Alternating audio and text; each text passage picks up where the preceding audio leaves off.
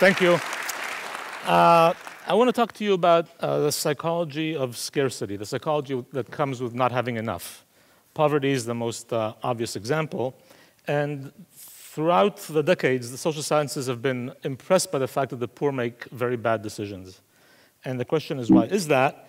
And uh, probably the most relevant example I can give you today, there are many, but one is uh, payday lending. Uh, payday lending is a, a remarkable story you, uh, if you want to pay payday loan, you go to a place that gives you small amounts, two or three hundred dollars for two weeks until your paycheck arrives. You have to have a paycheck, you have to have a bank, uh, and you pay a lot of interest for that loan. You basically borrow three hundred dollars for which you pay somewhere between 20 25 percent. Uh, if you compute the APR, the yearly interest, it comes to somewhere between 400 and 1,000 percent that you pay for this loan. Uh, we know that these loans hurt you so basically what happens is, think about it, you need some money urgently, you borrow 250, two weeks from now you owe me 300, you're not any richer than you were last time, that 300 becomes even more of an offense. You have to borrow again. The data is that people who resort to payday loans borrow on the average of between 8 to 12 times a year. Recent evidence suggests that up to 75% of a loan taken goes to pay the previous one. You're just becoming a money pump and you're in, in debt trap. And it hurts you. There's data that shows that when you when payday loans are available, people are less likely to be able to pay their bills, less likely to resort to medical treatment, etc. N, is this a successful venture? Unbelievably so. I have you some data here. Uh, there are more payday loan and check cashing stores in America today than there are McDonald's, Burger King, Sears, JCPenney, and Target stores combined. So this is a massively expensive loan that the poor resort to. It hurts them. It's super popular. Why? Um, there have been many attempts to try to understand this. They range from lack of education, lack of understanding, a lack of self control, myopia, a wrong culture, etc. We are trying a different uh, tack on this. We want to claim that the psychology that comes from scarcity, there's actually psychology that comes from not having enough, and that that psychology, when it emerges when you don't have enough, yields these very characteristic behaviors that, are, that can be very hurtful. Uh, to give you a sense of how that feels, uh, I'm going to use a metaphor. It's the packing metaphor. It's a suitcase packing metaphor. And think about your budget as a suitcase. Um, two friends. One has a large suitcase with slack in it. The other one has a very small suitcase that's very tightly packed. That feels very different.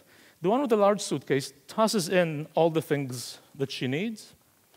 She might throw a few other things that are of lower utility, less important to her, but might still be serving a purpose but you leave some slack for unintended, uh, unexpected events and, and travels. The one with a very tight suitcase that's very tightly packed can't even put all the things that are really necessary. It just doesn't fit, let alone the things that matter less. She needs to start struggling, doing trade offs. What should I put in? What shouldn't I? Should I put the sneakers or the raincoat? What should I do? She's dealing with a much more complicated problem, technically, computationally. She has a very hard time leaving any slack in the suitcase for unexpected moments and she has to make trade offs that require a lot of attention. I don't really care about the size of the coat because I have room in my suitcase. You, with a very tight suitcase, really need to know is the coat bigger or smaller than my shoes? I am traveling with slack. If I walk the streets of New York and I see a pair of shoes I like, I ask, is the price right? And if it is, I buy them and I toss them in my suitcase. You, with a tight suitcase, find the shoes, ask, is the price right? And now you ask yourself, well, what do I take out of my suitcase to make room for these shoes? A much more complicated task. So the argument is when you live under scarcity with this very tight suitcase, you constantly in trade-off thinking mode, and you're concerned with the actual size of items and what that might mean for you. Uh, simple data, if you will. If you ask people of lower and less low income, do you think about what you might not be able to, to buy instead when you buy a TV or a toaster? Sure enough, the low income report thinking much more often about trade-offs what they might not be able to buy. What about knowledge of prices? You know, I, I walk the streets of America every day and I buy books and I buy lunches and I take cabs. I don't think about what I'm not going to buy instead. And I don't even really care or remember if the book was 17 or $16, if the cab cost 8 or 9, it's all the same to me.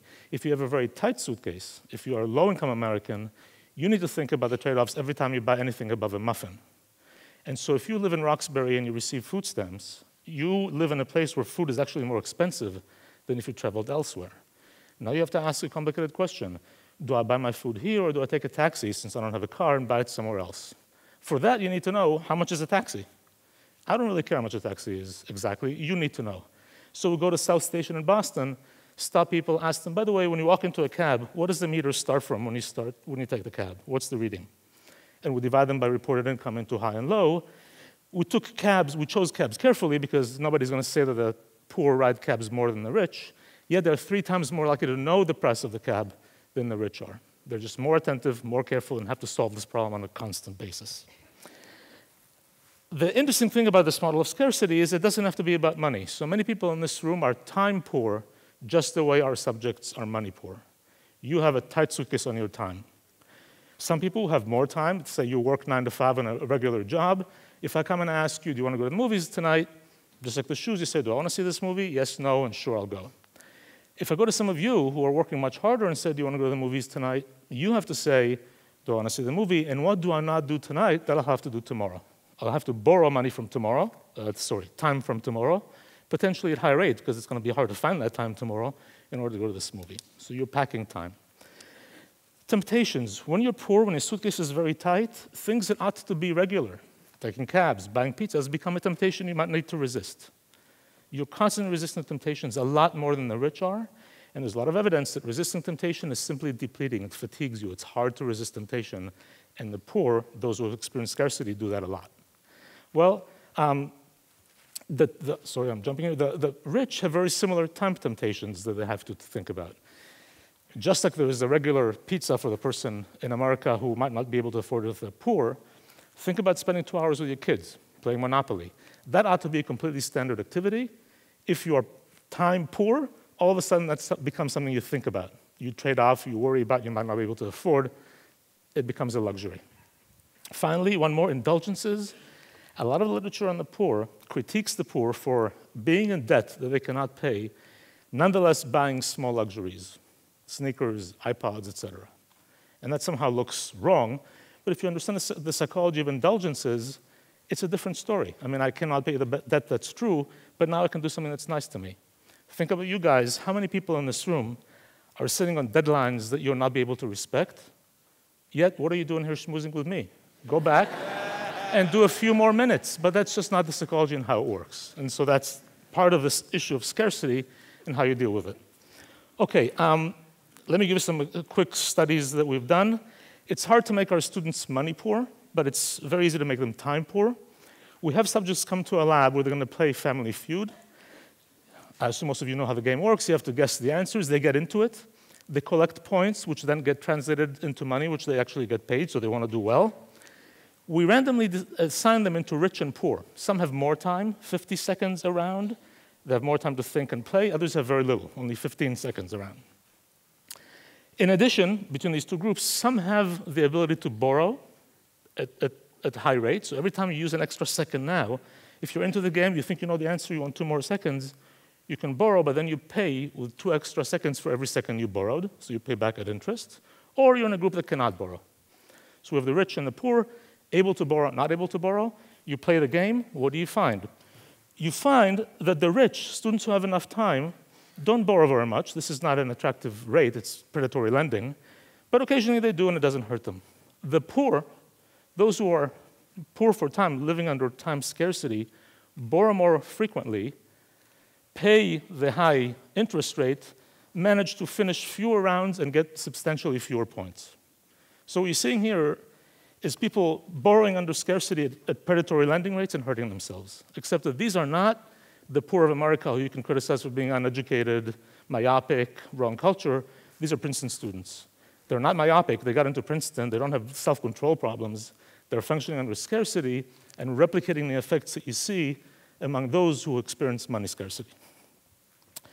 Um, this has big influence on our lives because if you're poor and you're constantly in a packing, problem solving mode, it's very distracting and it's very fatiguing. Here we go to a mall in New Jersey. We ask people to participate in a study. They agree. They sit in front of a computer.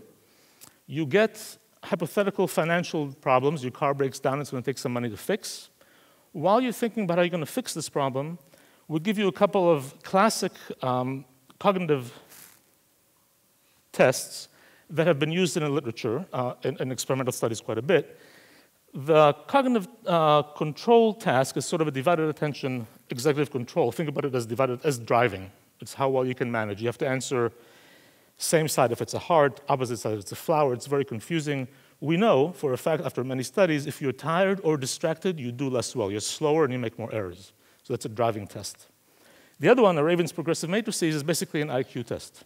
It's used, these actual questions are used in SAT and GRE tests. It captures working memory and intelligence. So these subjects now got these problems, either a hard problem where the car is going to cost a lot, or, a, or an easy problem where it's going to cost not too much to fix.